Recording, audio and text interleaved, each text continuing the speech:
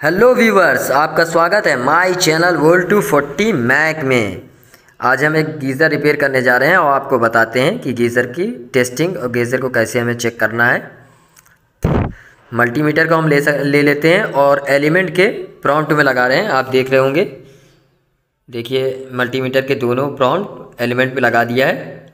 और देखिए एलिमेंट हमारा बता रहा है। एक हम एलिमेंट पे लगाएँगे और एक हम बॉडी पे भी टच करेंगे। जैसे अगर अर्थ होगा तो बॉडी पे अगर अर्थ आ रहा है तो हमारा एलिमेंट ख़राब होगा। और अर्थ नहीं आ रहा है तो हमारा एलिमेंट ठीक है। आप देख सकते हैं मल्टीमीटर हमारा एलिमेंट सही बता रहा है। तो हमारा गीज़र नहीं चल रहा था। तो हम इसकी लीड को भी चेक करेंगे। लीड हमने ले लिए एक प्रॉम्प्ट हम लीड पे लगाएँगे।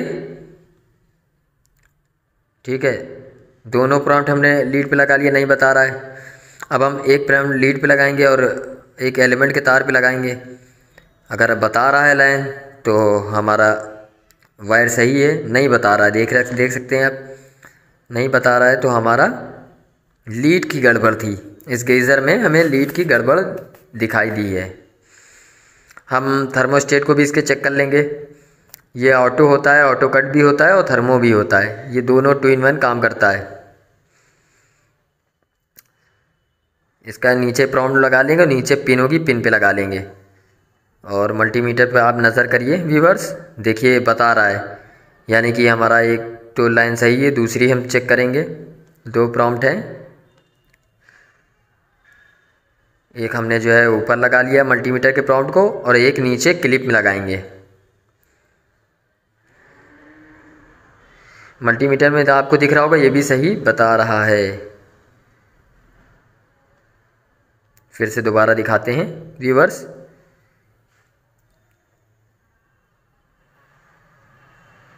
ये हमें कंटिन्यूटी जो है, दे रहा है, देखते हैं। व्यूवर ये हमें कंटिन्यूटी दे रहा है, देख रख सकते हैं आप मीटर में।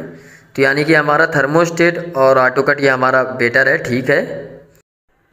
व्यूवर्स, अब हम इसकी लीड को ले लेंगे और इसको आगे से काट लेंगे। जो हमारा वायर आगे से अगर डैमेज है, उसको हम काटे ले रहे हैं। देख रहे होंगे।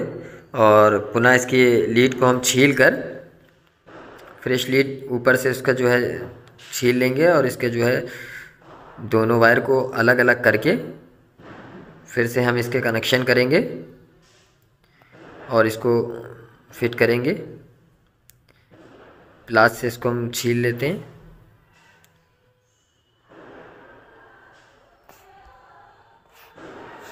हाल ही आप देख रहे होंगे कि ये गीज़र का वायर है तो इसलिए हार्ड होगा तो इसलिए छीलने में थोड़ी सी दिक्कत हो रही है। हम इसको प्रॉपर छील के दोनों तारों को अलग कर लेंगे, तभी इसको जो है, इसके फिर ऊपर कनेक्शन, वापसी में कनेक्शन कर देंगे और फिर इसको चेक करेंगे। बिजली इसके वायर छीलने के बाद इसका पाइप एक चेंज करना है। पाइप इसका एक ख़राब है। रिवर्स का पाइप चेंज करेंगे।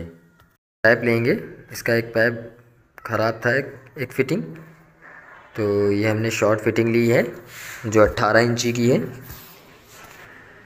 और इसमें इसको आप जो है इजीली हाथ से भी टाइट कर सकते हैं। रेंज की ज़रूरत नहीं है। इसमें टाइट करने का एक टामी देते हैं।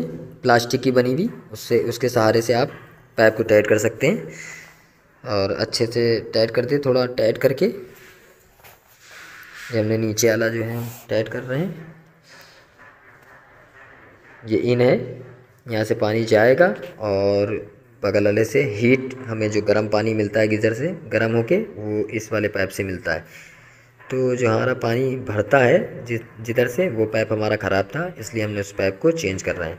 नीचे का पाइप हमने लगा लिया, अब हम ऊपर का पाइप अच्छे से टाइट कर देंगे। आप देख रहे होंगे व्यूवर्स, हम हाथ ही से अच्छे से टाइट कर दे रहे हैं। ये फिटिंग जो आती है, ये हाथ से आप टाइट कर दिए, प्रॉपर टाइट हो जाता है, कोई दिक्कत नहीं है। गर्म होगा तो वो पकड़ लेता है उसको। और वैसे इसमें देखिए, टामी दी हुई है, प्लास्टिक की बनी हुई, कंपनी की, ये टाइट हो गया है। पानी का प्रेशर खोल देंगे ताकि पानी उसमें जाता रहे, खाली ना रहे। गीसर को कभी भी आप जो है खाली नहीं चेक करेंगे, जिसके वजह से कभी भी एलिमेंट को दिक्कत हो सकती है। एक प्रॉम्प्ट से एक वायर हम थर्मोस्टेट में डालेंगे, और दूसरा प्रॉम्प्ट भी हम थर्मोस्टेट में देंगे, क्योंकि ये दोनों डायरेक्ट थर्मोस्टेट में जाता है, फिर ये यही ऑटो कट है, यही थर्मो का काम करता है डायरेक्ट जाके क्लिप में बैठ जाता है। तो दोनों तार जो है इसमें लगा लेंगे। इंडि, इंडिकेटर के तार हमारे पहले से कनेक्शन हुए हुए हैं। हमें सिर्फ़ दो वायर इसमें लगाने हैं। दोनों वायर के हम अच्छे से कनेक्शन कर लेंगे टाइट कर देंगे पेज अच्छे से टाइट करना है ढीला ना रहे क्योंकि हाई वोल्टेज रहता है ये। 2000 वाट एलिमेंट होता है इसलिए अच्छे से अगर टाइट होगा तो यहाँ स्पार्क नहीं करेगा। और अगर स्पार्क करता है तो आगे दिक्कत हो सकती है। यहाँ से शॉर्ट सर्किट भी हो सकता है। चलिए थर्मोस्टेट को अब हम डालते हैं एलिमेंट में,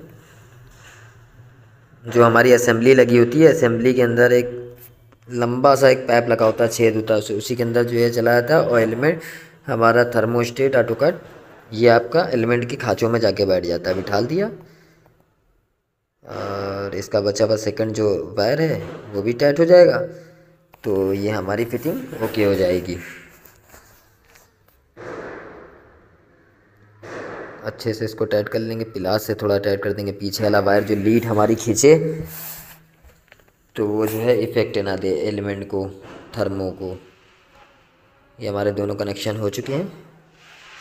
व्यूवर्स अब इसके कवर को हम बंद कर लेंगे।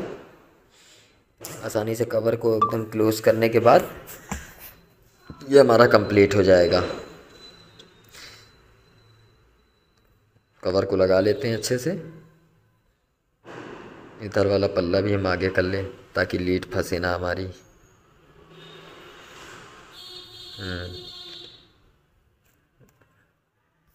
स्टील स्क्रू से हमारा कवर टाइट है तो वीवर दो खाँचे हैं, खाँचों में कवर को बिठाल के स्टील स्क्रू से इसको टाइट कर लेंगे दो स्टील स्क्रू लगे थे, दोनों तरफ़ के पल्ले, दो तरह के खाँचे हैं, खाँचे में जाके बैठ के एक पीछे स्क्रू लगाए, एक आगे स्क्रू लगाए, दोनों पल्ले टाइट हो जाते हैं। तो पीछे वाला पल्ला पहले हम स्क्रू लगा के इसको टाइट कर लेते हैं। हैंड टूल का इस्तेमाल करेंगे हम। तो बड़े पेचकस से हम पिछला वाला स्क्रू टाइट कर लेते हैं। अच्छे से गैप ना हो। और हमारे कोई तार भी कवर में ना दबे, जिसकी वजह से जो है दबकर तार छील जाए और किरण आ जाए ऐसा कुछ। तो ये चीज़ देख कर ही हमें कवर को टाइट करना है ये पीछा पल्ला हमारा टाइट हो गया है। अब अगला वाला कवर टाइट करेंगे। व्यूअर्स कवर जो है टाइट कर लेते हैं। लीडों को देख लेंगे, लीडे ना दबे। तो व्यूवर्स आपको जो है हमारे अगले वाले कवर में दो एलईडी दिख रही होगी। एक रेड कलर की, एक ग्रीन कलर की एलईडी दिख रही होगी। तो कवर को टाइट करके फिर चेक करते हैं। अगर हमारा जो है गीज़र ओके हो जाएगा तो हमारी एलईडियाँ ग्लो करने लगेंगी। ये हम स्क्रू लगा लेते हैं और इसको अच्छे से इसको टाइट कर लेते हैं। यही स्क्रू आखिरी है। इसको टाइट होने के बाद हमारे गीज़र ओके हो गया है। पहले हमने आपको बता ही दिया है कि इसकी टेस्टिंग वगैरह सब बताई दी है अब सिर्फ़ इसके जो है इसका वायर हम में हम लाइन देते हैं। लाइन देने के बाद फिर आपको चेक करके दिखाते हैं कि हमारा गीज़र चालू हो गया। तो व्यूवर्स हमने आउटपुट दे दिया है। ये देखिए आप देख सकते हैं हमारी लाइटें जलने लगी हैं। हमारा गीज़र ओके हो गया है। दोबारा ऑन करते हैं। ये देखिए।